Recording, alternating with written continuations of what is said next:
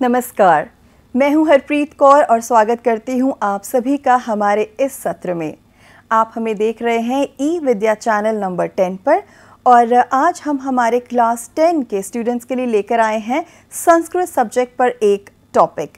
जी हाँ आज का जो हमारा टॉपिक है वो है सूक्त्य, पाठ है आठ, संस्कृत है विषय और अगर आपके हमारे क्वेश्चंस हैं कुछ आप के क्वेश्चंस आप हमसे पूछना चाहते हैं हमारे एक्सपर्ट से पूछना चाहते हैं तो आप हमें फ़ोन कर सकते हैं। लेकिन सबसे पहले हम आपको बता दें कि आज हमारे इस सेशन में इस सत्र में जो एक्सपर्ट हमारे साथ हैं वो हैं डॉक्टर संगीता शर्मा जो है faculty of Sanskrit Jamia Millia Islamia university new Delhi से। बहुत बहुत स्वागत है मैम आपका हमारे इस सत्र में। धन्यवाद। जी। सो so, uh, जो भी हमारे व्यूवर्स uh, हैं जो हमारी फैकल्टी से क्वेश्चन पूछना चाहते हैं अपने डाउट्स को क्लियर करना चाहते हैं तो हम आपको बता दें कि आप हमें फ़ोन कर सकते हैं।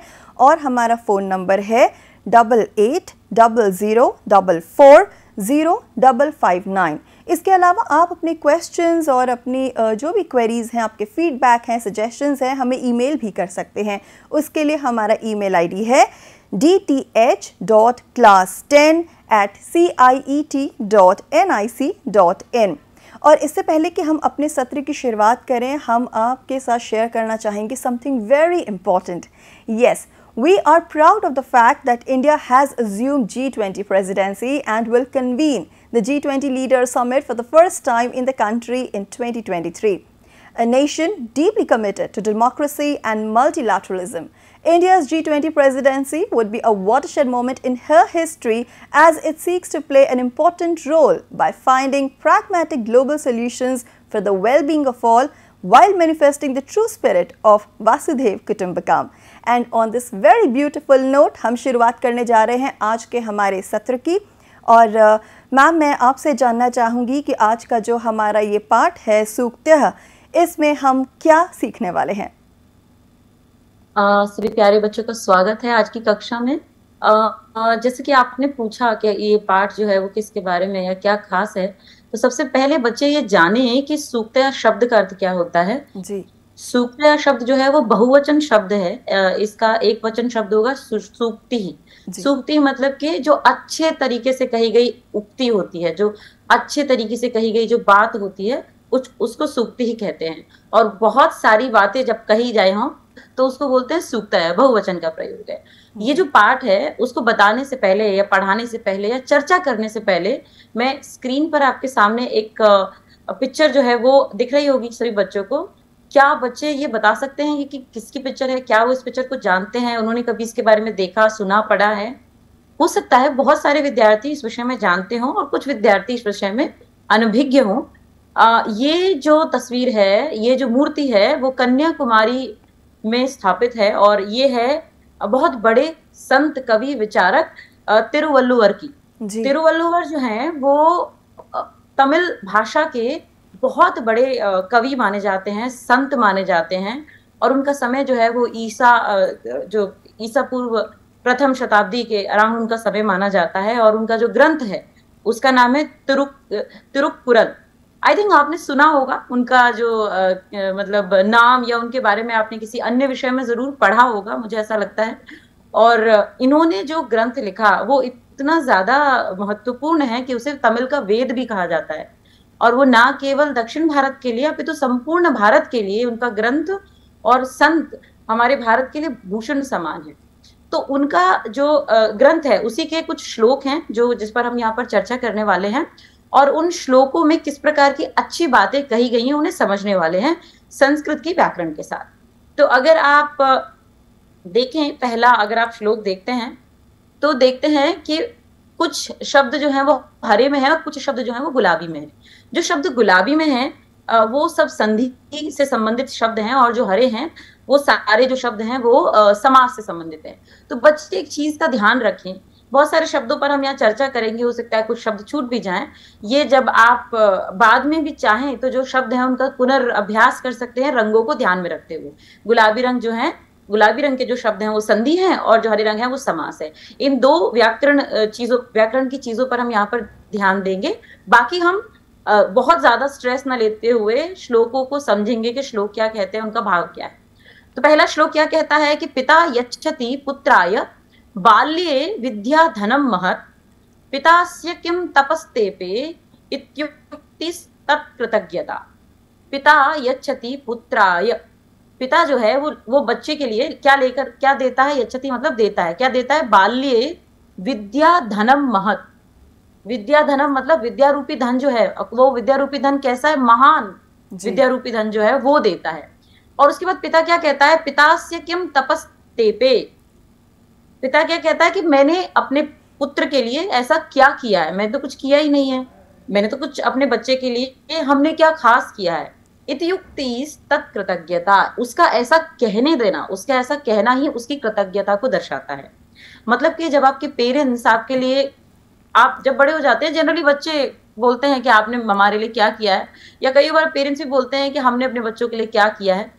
लेकिन जो पिता, जो माता अपने बच्चों को विद्या रूपी महान धन देते हैं, वो बहुत ही कृतज्ञता, वो बहुत ही बड़ी बात होती है क्योंकि विद्या रूपी जो धन है तो इस श्लोक में विद्या का महत्व बताया जा रहा है, दूसरा बताया जा रहा है कि जो माता पिता हमारे लिए इतना काम करते हैं, उसके बाद भी वो इतना विनम्र रहते हैं, इससे बड़ी कृतज्ञता कुछ हो नहीं सकती। कृतज्ञता शब्द का मतलब होता है जब आप किसी पर कोई कोई अच्छा काम करें और उसका क्रेडिट भी ना लेना चाहें है ना? जब आप उस उसके ऊपर एरोगेंसी या उस उस पर कोई अधिकार ना जमाते हुए आप कहें कि ठीक है मैंने ये किया। जब आप सॉफ्ट रहते हैं जब आप अहंकार नहीं दिखाते हैं ऐसी सिचुएशन होती है। अब आइए संधि और समास इस श्लोक में जो है उन पर एक थोड़ी सी चर्चा कर लेते हैं। आप यहाँ पर देख रहे होंगे पहला शब्द जो गुलाबी में पितास्य। पितास्य जो है वो पिता जमा अस्य है और ये जो है वो दीर्घ संधि है। और इसी तरीके से अगर आप देखते हैं तपस तेपे तपस तेपे तो बड़ा आसान है तपह जमा तेपे ये विसर्ग संधि है तप के आगे विसर्ग था और वो जब विसर्ग संधि हुई तो तपस तेपे हो गया। और इसी तरीके से आ, मेरी जो फेवरेट संधि है वो इत्युक्ति इत्युक्ति में एक खास बात है बच्चों इसमें संधि भी है और समास भी है। संधि तो पहले भी हम लोगों ने बात की थी कि संधि होती है दो शब्दों को जोड़ना और समास होता है जब बड़े से शब्द को छोटा करने के लिए जब ग्रामर की या व्याकरण की प्रक्रियाओं को लगाया जाता है। तो समसनम समास और संधि तो आप जानते हैं, दो वर्णों के मेल को संधि कहते हैं। तो इत्युक्ति में यण संधि है, जैसे इति जमा उक्ति ही। जो उक्ति है ना, त के आगे, ती के आगे जो आधा स है, वो विसर्ग है तो इत युक्ति ही, ऐसा है। तो इति जमा उक्ति, ये तो हो गई यण संधि। अब आप देख रहे होंगे कि मैंने इसको ना हरा भी किया हुआ है। इसका मतलब है कि इसमें कुछ कहीं पर वो भी है। क्या है? समास भी है। तो समास है तत्कृतज्ञता, आपको दिख रहा होगा शब्द? तत्कृतज्ञता है तस्य कृतज्ञता। तस्य मतलब उसकी, षष्ठी विभक्ति एक वचन है, उसकी कृतज्ञता मतलब उस पिता की कृतज्ञता। इस प्रकार का यहाँ पर आप षष्ठी तत्पुरुष का प्रयोग देखते हैं। और एक और आपको हरा हरा दिख रहा होगा विद्या धनम विद्या धनम मतलब विद्या एवं धनम मतलब विद्या ही धन हो। देखिए धन एक अलग चीज़ होती है विद्या एक अलग चीज़ होती है हम सभी जानते हैं। विद्या क्या होती है हम जानते हैं जो हम पढ़ते हैं हम जो जो मेहनत करते हैं हम जो सीखते हैं उसको विद्या कहते हैं। धन आप जानते हैं जो जिनको आप करेंसी के रूप में नोट के रूप में जानते हैं वो धन होता है। लेकिन कभी कभी क्या होता है कि कोई चीज़ ऐसी हो जाती है जैसे कि आपका चेहरा चाँद जैसा है। ऐसे हम बोलते हैं और हम ये कहें कि आपका चेहरा चाँद ही है मतलब कि कोई डिफरेंस नहीं है एक ही जैसा है। तो जो यहाँ पर है विद्या धनम मतलब कि विद्या जो है वो धन ही है। धन के अतिरिक्त जो है वो विद्या नहीं है। तो इस प्रकार से जो पिता अपनी संतान को विद्या धन देते हैं और वो कहते हैं कि मैंने क्या किया ऐसा खास, ऐसे जो पिता है, उनका ऐसा कहना ही उनकी कृतज्ञता को दर्शाता है। तो ये तो मैंने बड़ा इलेबोरेट कर कर एक आपको श्लोक बताया और बताया कि किस प्रकार से संधि और समास को हम अलग कर सकते हैं, समझ सकते हैं। आगे, क्योंकि हमारे, हम समय की सीमा में बंधित रहते हैं तो हम आगे के श्लोकों का भाव तो समझेंगे लेकिन हो सकता है कुछ संधि समास हम छोड़ जाएँ। लेकिन जिन संधि समासों को हम छोड़ेंगे उनको हम आगे आप उन्हें अपनी अध्यापक से अपने साथियों से चर्चा करेंगे। और हम हमारी एंकर महोदया से भी कहेंगे कि जब उन्हें हमारे साथ यहाँ पर सीखने पढ़ने और बच्चों के साथ बैठने में कुछ और आनंद की बात समझ में आए तो वो हमें ज़रूर हमारे साथ इन विषयों पर वो भी चर्चा करें। जी ज़रूर मैम बहुत ही अच्छा आपने टॉपिक लिया और मुझे काफ़ी कुछ सीखने को मिल रहा है जी। जी तो अब देखिए ये दूसरा आपके पास श्लोक है वो कहता है अवक्रता यथा चित्ते तथा वाची भवेत यदि तदेवाहु महात्मन महात्मान समत्व मिति तथ्यतः। अवक्रता अवक्रता क्या होता है बच्चों? अवक्रता होता है वक्रता तो हम सब जानते हैं ना, ये वक्र है। वक्र मतलब टेढ़ा मेढ़ा। अवक्रता मतलब जो टेढ़ा मेढ़ा नहीं हो। मैं चाहूँ तो इसके साथ आपको समास भी बता सकती हूँ, पर पहले मैं सोच रही हूँ, भाव जो है वो पकड़ा दू आपको। अवक्रता में वैसे तो नए तत्पुरुष समास है, न वक्रता इति अवक्रता, लेकिन पहले पहले भाव पकड़ते हैं। अवक्रता यथा चित्ते। अगर आपका जो दिमाग है ना, उसमें टेढ़ापन नहीं हो सीधा सीधा हो, शांति हो, तथा वाची भवेत, और वैसे ही आपकी वाची मतलब वाणी वैसी ही भवेत, हो जाए। अगर जैसी आपके दिमाग में शांति है, वैसी अगर आपकी वाणी में भी हो जाए, यदि यदि ऐसा हो जाए, तदेवाहु महात्मान समत्वमिति तथ्यतः। तब महात्मा लोग जो हैं, महात्मा लोग मतलब कि जो महान, बुद्धिमान लोग जो हैं, महान आत्माएँ हैं महान विद्वान है। वो वो क्या कहते हैं? समत्वम इति तथ्यतः। इस प्रकार की स्थिति को ही वो समत्व कहते हैं। समत्व मतलब बच्चों समत्व एक बड़ी भारी सिचुएशन है। समत्व मतलब जहाँ पर माइंड जो है वो बैलेंस्ड होता है। तो माइंड बैलेंस क्या होगा? जो आपके माइंड में हो वही आपकी ज़ुबान पे हो। सीधा सीधा सपाट सपाट। इसका मतलब ये नहीं कि मन में किसी के लिए कोई बुरी चीज़ चल रही है वही आपकी ज़ुबान पर आ गई और आप उसको ही बोलें कि ये तो दिमाग और मैडम ने दिमाग और ज़ुबान का कनेक्शन बताया था हमारा कनेक्शन तो सही है तो हमारा तो समत्वम हो गया। ऐसा नहीं ये मतलब नहीं है मेरा। मेरा मतलब है कि दिमाग में पहले तो अवक्रता मन के अंदर चित्ते मतलब मनसी मनसी मतलब मन में मन में भी जो है वो वक्रता होनी चाहिए।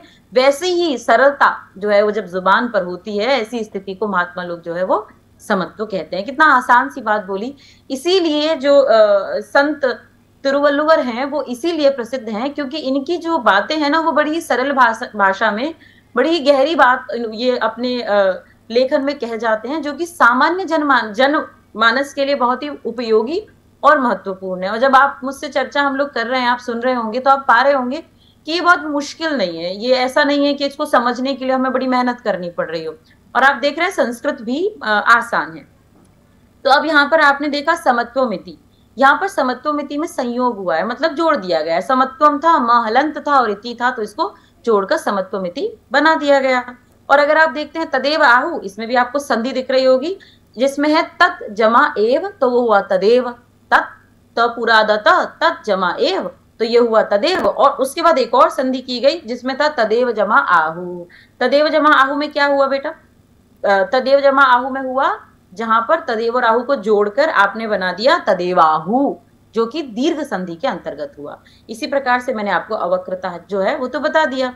तो आपको भी ऐसा लगता होगा कि अगर आप आपका दिमाग और आपका मन जो है, वो एक साथ रहे तो ऐसी स्थिति में आपका जो जीवन है, वो कंपैरेटिवली बड़ा सरल भी हो जाता है। आगे देखते हैं, आगे क्या कहता है श्लोक?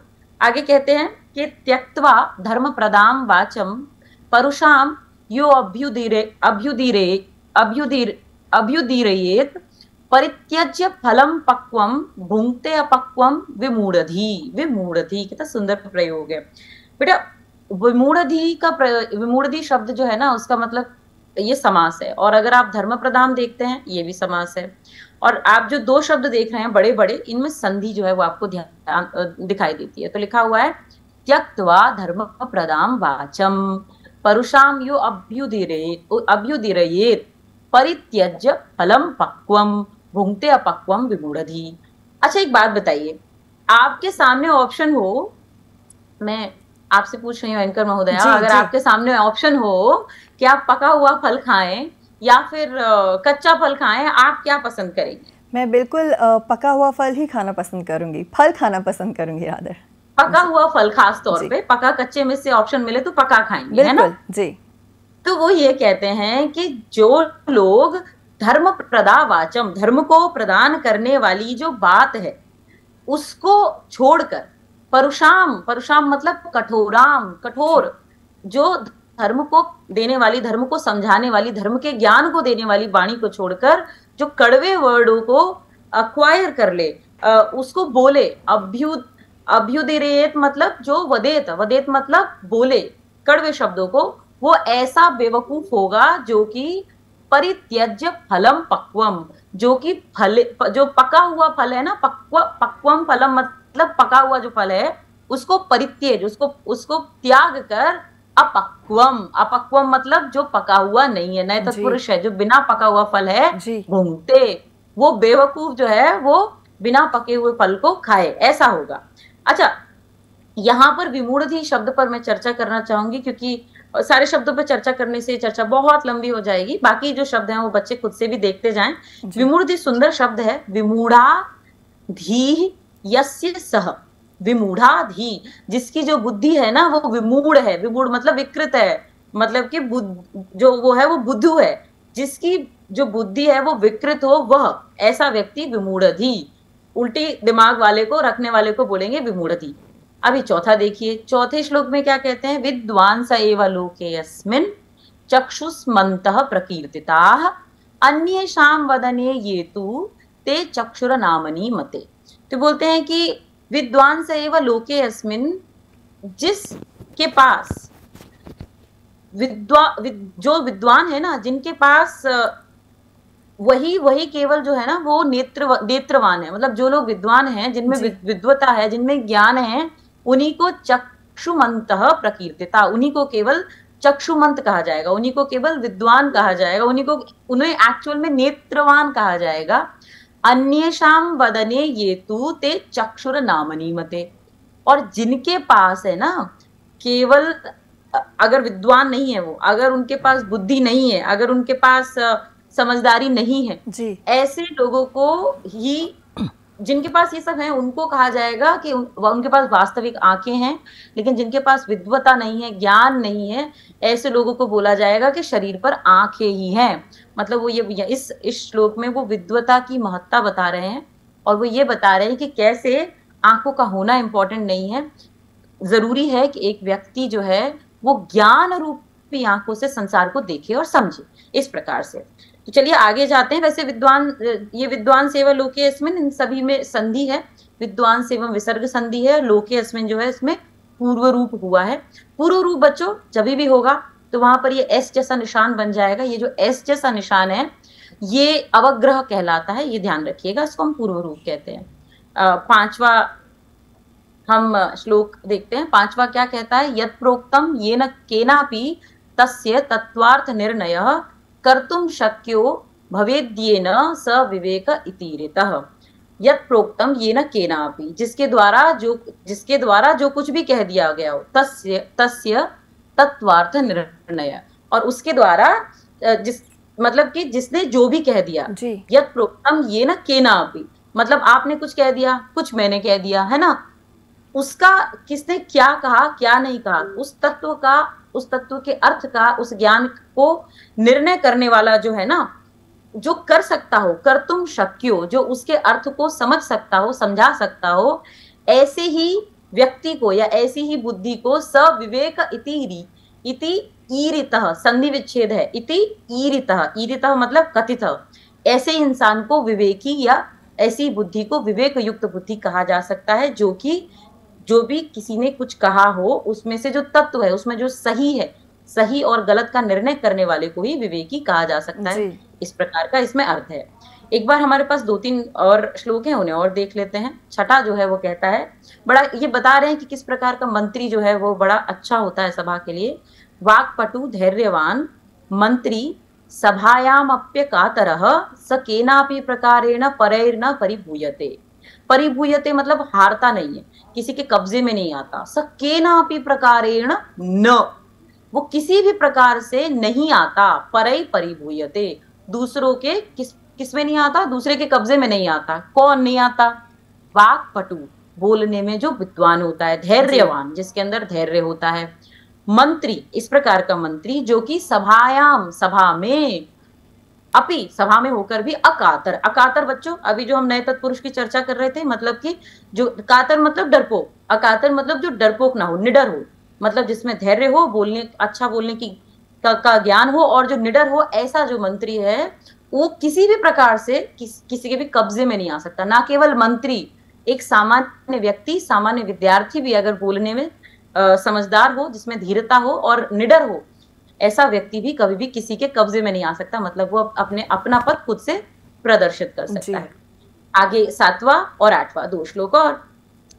सातवां श्लोक कहता है यह इच्छा इच्छात्यात्मन श्रेय प्रभुतानी सुखानी च न कुर्याधितम कर्म स परिभ्य कदापि च। बोलते हैं कि आप, आप अगर कुछ अच्छा आप चाहते हैं ना, अगर कुछ अच्छा चाहते हैं और आप चाहते हैं कि आपके साथ कुछ बुरा कभी भी ना हो, है ना? और हमेशा अच्छा होना चाहिए, अगर आपकी ऐसी इच्छा है। आत्मना मतलब हम, मेरे लिए।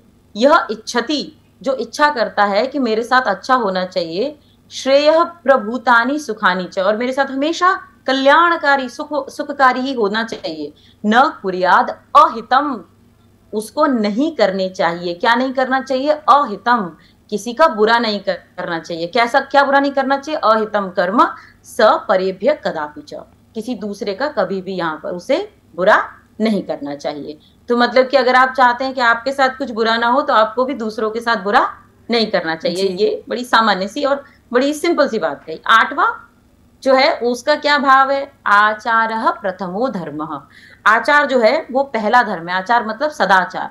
अच्छे तरीके से व्यवहार करना ये पहला धर्म है। इत्येत विदुषाम वच। इस प्रकार से विद्वान लोग कहते हैं। फिर क्या कहते हैं? तस्मात रक्षेत सदाचारम प्राणेभ्यो भी विशेषता। इस प्रकार के सदाचार को प्राण से भी ज़्यादा उसकी रक्षा विशेष रूप से करनी चाहिए। तो इस प्रकार से अच्छे व्यवहार, अच्छे आचार की यहाँ पर महत्ता बताई है। मैंने बहुत जल्दी जल्दी आपको बताया और समास और संधियों को भी मैं बहुत इलेबोरेट तो नहीं कर पाई हर श्लोक में, पर मैं आशा करती हूँ कि जिन वर्ड जिन शब्दों को मैंने गुलाबी और नीला किया हुआ है, हरा किया हुआ है, उन शब्दों को आप अपने साथियों और अध्यापक के साथ चर्चा करेंगे और जानेंगे, समझेंगे कि इसमें समास किस प्रकार से हुआ और संधि जो है वो किस प्रकार से हुई। जी। जी आपने बहुत अच्छे तरीके से समझाया मैम और मैं तो कहूँगी कि संत रुवलवर जी की बातें आज भी कितनी रेलेवेंट हैं ये हमें पता चलता है कि उन्होंने कब लिखा था ये सूक्तियाँ उन्हें कब उन्होंने लिखी थी और उस टाइम का एनवायरनमेंट कैसा था लेकिन आज के माहौल में भी ये सब कितना रेलेवेंस है इन सब चीज़ों का ये हमें पता लगता है। जी। जी, जी बिल्कुल। तो व्यूवर्स आपने देखा आज हमारा ये सेशन और हम धन्यवाद देना चाहेंगे। मैम, आपको, आपने इतने अच्छे से सारे श्लोक एक्सप्लेन किए और इनके बारे में डिटेल से चर्चा की। व्यूवर्स हम आपको बता दें कि अब से कुछ ही देर में आप जुड़ेंगे हमारे दूसरे सेशन में जिसमें टॉपिक रहेगा पॉलिनोमियल्स फॉर क्लास नाइन्थ और इस सेशन को रैपअप करने से पहले मैं आपको बताना चाहूँगी कि एन e की टेक्स्ट बुक्स देश भर में अवेलेबल हैं। जी हाँ हमारे डिफरेंट सेल्स काउंटर हैं न्यू डेली कोलकाता अहमदाबाद गुवाहाटी बेंगलुरु में और अगर आप चाहें तो इन सेल्स काउंटर से आप किताबें खरीद सकते हैं, नहीं तो ऑनलाइन ऑर्डर भी प्लेस कर सकते हैं N C E R T books dot N C E R T dot G O V dot in पर और ये किताबें आपके घर तक पहुंचेंगी फ्री ऑफ़ कॉस्ट और साथ ही साथ आप इन किताबों की पी डी एफ़ वर्जन भी डाउनलोड कर सकते हैं ई पाठशाला और दीक्षा ऐप से, साथ ही साथ एन सी आर टी की वेबसाइट से। फ़िलहाल मैं इस सत्र को यहीं पर रैपअप करती हूँ और आप जुड़े रहिए हमारे साथ। कुछ ही देर में आप सुनेंगे और देखेंगे हमारा दूसरा सत्र। नमस्कार।